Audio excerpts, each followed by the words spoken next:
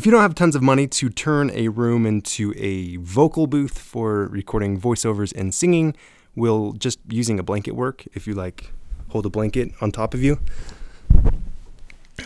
Let's find out. Okay, so I'm standing about six inches away from the mic and I'm talking and this is what it would sound like if I were doing a voiceover just in a smallish room without any acoustic treatment or anything. So there's like um, reverberation and echoes and stuff as I talk.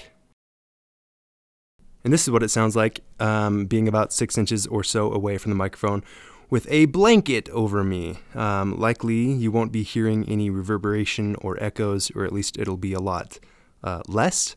So it sounds a little bit more like I'm in an acoustically treated sound booth or something like that. It's just kind of tiring holding up this blanket. This is what it sounds like to sing with and without a blanket sound booth.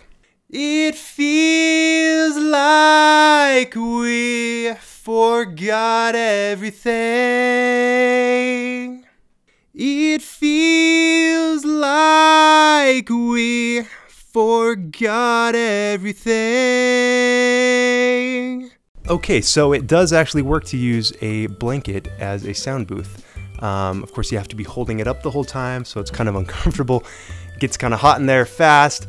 It's not very practical, but the point is it does work, so if you want to try that route, go for it. Or if you want, you can just try using your closet, like open up your closet doors and put the microphone kind of tucked into the clothing and, and sing into that. That seems to work pretty well.